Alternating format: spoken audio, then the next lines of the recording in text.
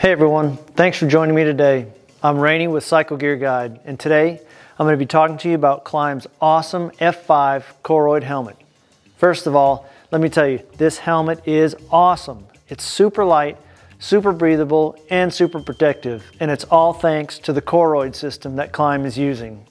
Okay, so what's Koroyd? Well, without getting too technical, and here's a good link if you want to get too technical, let's go over it for a second. So, Koroyd.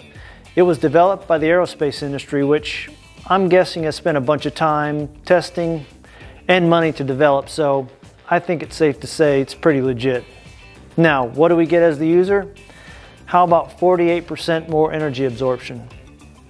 Uh, that's pretty good. I'll take almost double the standard EPS rating, especially when it comes to my brain. So, how does it work its magic? It's all about progressive energy impact absorption. Or the way I put it, what are my chances of being able to ride again after I absolutely smash my head during a crash? Which will happen. Okay, back to the nitty gritty. Compared to normal EPS foam, it outperforms by absorbing and dispersing the impact better because of these really cool hollow green tubes that are all thermally welded together. These are the guys that do all the absorbing. And the green color, well, I'm not sure why they're green, but I think it looks pretty sweet. Extreme heat and cold also have little effect compared to EPS. They get soft when it's really hot and gets brittle when it's really cold. Now, let's move away from safety and talk about weight and breathability. So, hollow tubes, no wind restriction, minimal material. As soon as you pick up this helmet and put it on, and I'm not kidding, you can't help but notice how light it is. And since it's cold where I am right now, I could actually feel the cool air coming in through the tubes onto my head. Really, really impressive.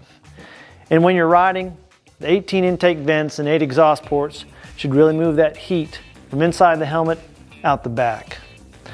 All right, next up, Fidlock chin strap. If you have never used one of these before, then you are really missing out. Gloves on, gloves off, doesn't matter. This has to be one of the best upgrades to helmets in a long time. Just position the two straps close to each other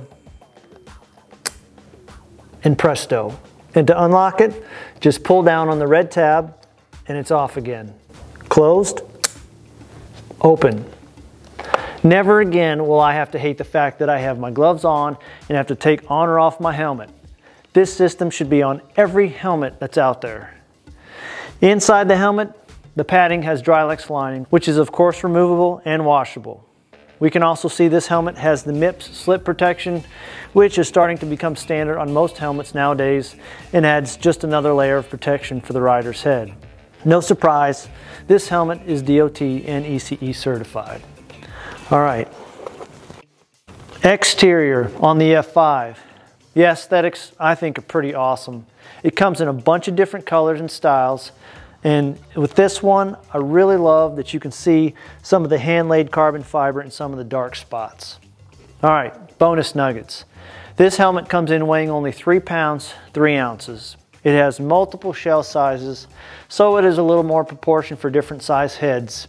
It comes with a helmet bag, an extra visor, optional breath box, and a windproof headliner. I'm super excited to test this out on the bike and be looking for the link to the On the Bike video. And if you have any questions or comments, please feel free to let me know. And if you like this video, hit the like button and subscribe to the channel. Also, let me know what other gear you might want to see reviewed. Thanks for watching, and I'll see you next time.